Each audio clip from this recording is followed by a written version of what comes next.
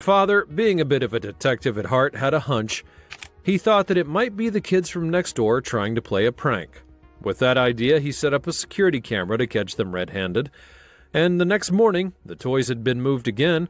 Eager to see who the culprits were, they then huddled around the footage, and what they saw was nothing like what they expected.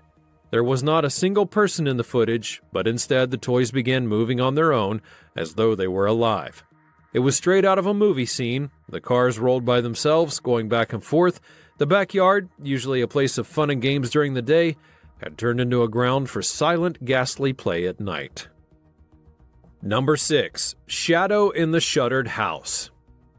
One day, this young man was messing around with his phone, thinking that he was going to film something ordinary, but what he caught on camera was anything but. In one of the house's dusty, long forgotten windows, there stands a figure. I'm talking about a silhouette which is kind of blurry, but distinctively black that it stands out against the old peeling window. The shape is that of a woman, but not your average woman, more like a figure that's drawn out of night and mystery. There's no telling for sure, and some people say it may just be a trick of the light or a curtain swaying in the breeze, while others feel that it may be something else or otherworldly.